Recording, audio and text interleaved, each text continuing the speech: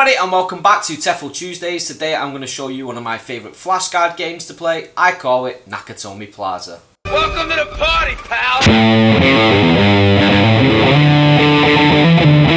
Now this is a game that I modified from the 129 different TEFL Lemon flashcard games book that I got from Stuart Allen of TEFL Lemon.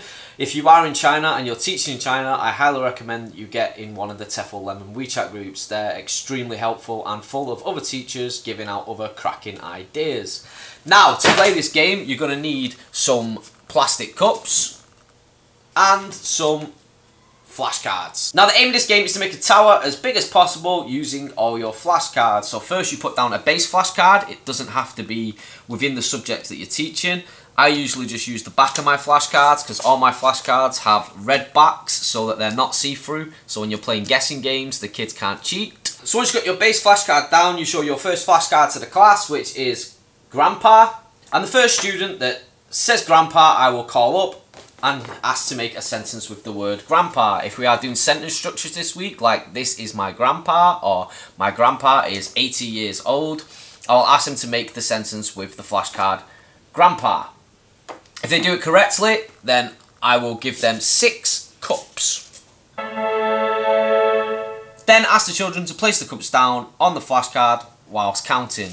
One, two, three, four, five, six. My favorite number is six.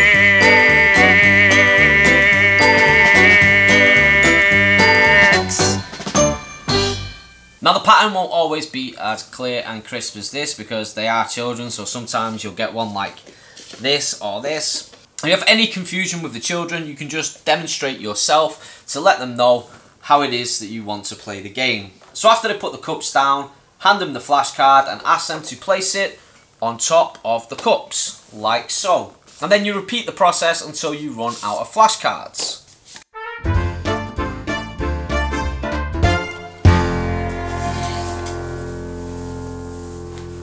Voila! There it is, there is our tower. I usually make it a lot bigger than this because it's a lot more fun when it comes down. And now that we've finished the tower, we get to play a game of Paper Cup Jenga. Now I like to bring the student forward and show them that if I take one from the bottom here, the tower won't fall, and place it on the top. And ask the student to do the same. And then they come along and they choose one, or I choose one for them, and we take another cup and place it on top. And repeat the process until the whole thing comes tumbling down. We can stop. We can get. And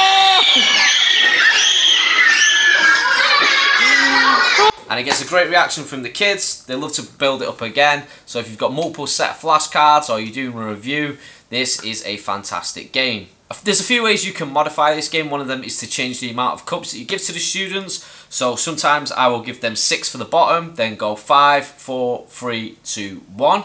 Sometimes I'll take a dice in, like a huge loaded dice. I'll throw the dice on the floor, and whatever number comes on the dice is the amount of cups that they get. Which also adds to a lot of the fun because sometimes the kids have got to place one cup with a flashcard and then two cups another flashcard. It gets a lot more difficult and it means you can bring the same game in without it getting boring. You use plastic or paper cups but I prefer these plastic ones They're a bit thicker and when they get crushed they pop straight back into shape so if there's an accident in the bag it doesn't really ruin my lesson plan. And that's all I've got time for today. If you've got any questions please pop them in the comments. Questions about China, questions about my life in China, questions about teaching in China, questions about teaching in general then please just pop them in the comments. If you've liked this video and it's been helpful to you, then please smash that like button. If you want to see more videos like this, then subscribe to the channel. And as always, don't do anything I wouldn't do.